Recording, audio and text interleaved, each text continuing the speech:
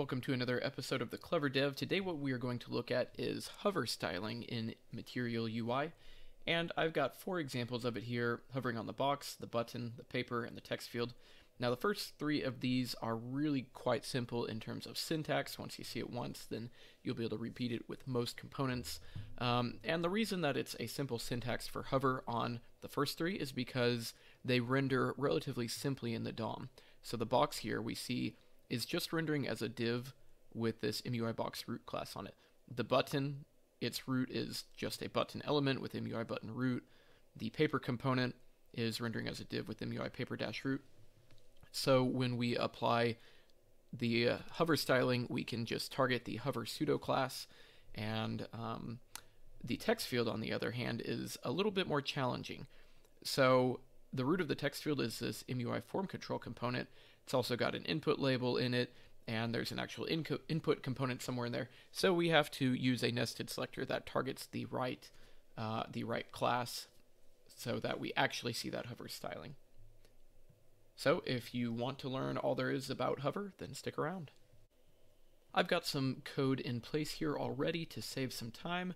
What I have is we saw those four components in the intro, and I just have them here the box, the button, the paper, and the text field. They are wrapped in a stack component that has a column flex direction on it and a little bit of spacing. So really nothing too exciting. Um, for the most part, I've already added the SX prop and passed in a styling object, but for the box, I am going to show exactly how to do that, just in case anyone's not familiar with it. So to pass in an object for styling, then we do something like this. We create a const and name it. Um, in this case, I'll name it button SX, and I'll say that is equal to an object. And I'll just take this and pass it to the box's SX prop, just like that. So let's see what this is all rendering as. Okay, so now we've got, um, we're kind of all on the same page. We've got our four components here that we saw from the intro, but there's a little bit of default styling on the button. You can see that when there's a hover on it, then there's already some kind of effect. Same with the text field. That is just default styling. I have not added anything um, to make that happen. So the box and the paper aren't doing anything. Going back over to our code, we'll just run through these four examples.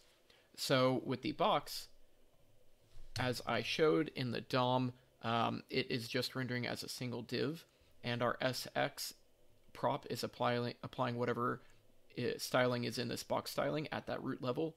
I mean, there is only one level, so of course it's being applied there.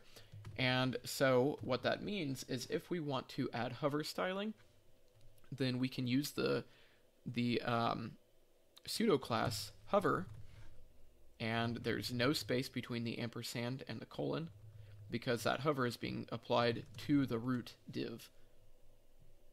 So um, that root div is the element in the DOM that's getting the hover pseudo class applied to it by the browser. And uh, so this is exactly what we want to target. Kind of saying that in a couple different ways just to make sure everyone understands. But anyway, I'm going to pass in a border of, let's say, 1px solid and I'll give it this color here. And let's do just a little bit more. Let's say change the entire color to gray, and that'll be the text color. And I'll change the background color to a light blue. And just to differentiate the box from the background a little bit, then not even in the hover, but just in general, I'm going to apply a box shadow, and I'll say 3. So this 3 is a value from the default theme. I have not added any themes here or anything like that. However, MUI by default has a theme that has a bunch of values on it, and this 3 for box shadow will translate into a certain box shadow value. So you can see that now there's some box shadow applied. And just like that, we have the hover styling that we expected to see. So pretty cool there. Now let's move on to our button. And the button is going to be similar in that uh, we put in that ampersand. You'll always have an ampersand anytime you're doing a nested selector. And there's no space. I'm going to just have that colon right away. And get my hover in there. For the button, I'll just add, I'll just change the border color. So we saw that it's at least getting some kind of fill on it. Um, I don't remember if the button, if the border was maybe lightening a little bit, but wouldn't surprise me if that was the default behavior. Um, but anyway, I'll add an RGBA of, let's say, 255, 240, 10, and an opacity of 0.8. Take a look at that. There we go. So we can see that's kind of a yellow styling on that border there. Pretty cool. So far, so good. And onto the paper component. And once again, another simple example where we just have ampersand hover. And um, we'll say with our paper, we'll increase the box shadow. That'd be kind of cool. To 8. So it's already got box shadow. I'm not hovering yet. I go and hover, and you can see that box shadow animate to a darker, more pronounced box shadow pretty significantly. So pretty cool. As a reminder, with all of my videos, I do have a link to full code in the video details, so check that out, expand that, and you'll see a link to a post where I have full code for this. And also, I actually have recently released my very first Udemy course, uh, and it's on Material UI. So if you are really interested in being an expert at material UI component styling, then it is an advanced course for that. However, it also builds an app all the way from beginning to end. So even if you're newer to MUI and looking for how to build a, an app from beginning to end and then add advanced styling to it, then definitely check out my course. And um, if possible, then there is a coupon in the video details, but some those coupons expire and I can't always have one. So at the very least, I'll have a link to my course. Moving on to our last component here, and it is a more complex component. It's this text field, and just a reminder, I've got this object here already passed to our SX value. So let's take a look at the DOM for a minute for our text field. So I have this form control root, and that's the root component, or the root element, I should say. Um, both are true, really, of our text field.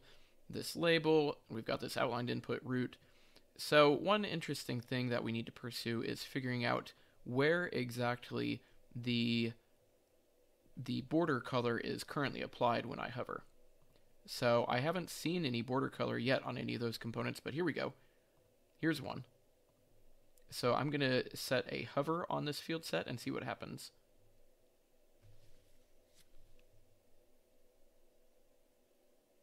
So that didn't do anything, so that's kind of interesting. Let me set the hover on here. So we can see now that our hover is in fact applied. And let's see if we can look at the DOM here. Okay, this is really interesting. So our field set, I haven't added any styling yet to our text field. And yet I see this exact selector that we need. Um, I see the input base dash root, or we could use MUI outlined input dash root. When that is hovered, then um, there's this notch outline class also so they're getting a very specific selector that's probably more specific than we need. I'm just going to say um, MUI outlined input dash root colon hover. And then I'm just going to directly target the text field element. So let's see if we can translate that over here to our styling. So I've got my colon. Um, I'll go ahead and, no, actually, I'll, I'll, do it the right way the first time. So um, what I was debating was I know that this outlined input root is a child of the text field root. Remember, our text field root is that form control. So if I don't have the space, then this is looking for a class at the root level. But if I do have this space here, which we want, now it's looking for a class on some child component. And it's saying when that is hovered, um, then do a thing. Do whatever we say in here. Maybe we say background color orange inside of here. However, I'm pretty sure we'll want to target that field set, but let's just see what's going on with this. Oops, I targeted background color. I meant border color. There we go. see what that does. Okay, so nothing yet.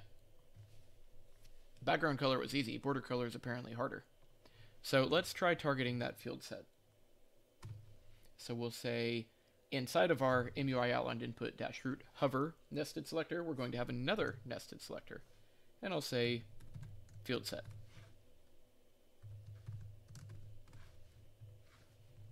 Now let's move this border color inside there. All right, there we go. We did it.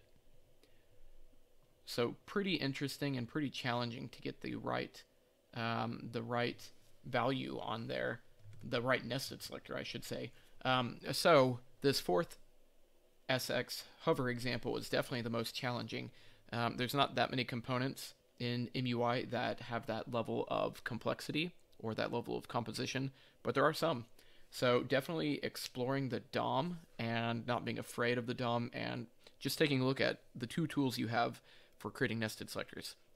The classes on the elements in the DOM and the elements themselves, the type of elements. So if this video was was useful for you, then um, please do consider subscribing, and I hope that uh, you have a wonderful day.